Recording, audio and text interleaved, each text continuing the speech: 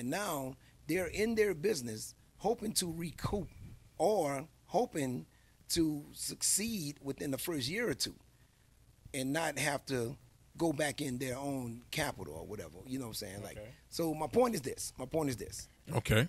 When I opened this shop, I had at least about six months of rent just in case no one was in the shop. Is my point.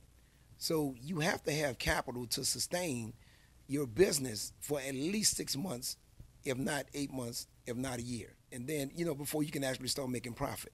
But you have to be rocking and rolling. You have to be moving.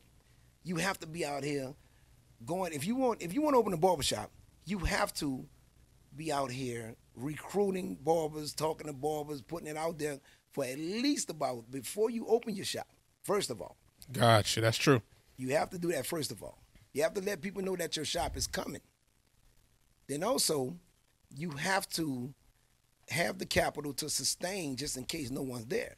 Now, with the grace of God, by the grace of God, I was able to open my shop with five barbers. So I pretty much was in the profit and when I opened. Mm. You see what I'm saying? So not everybody's like that. So that's the reason why they open and they close.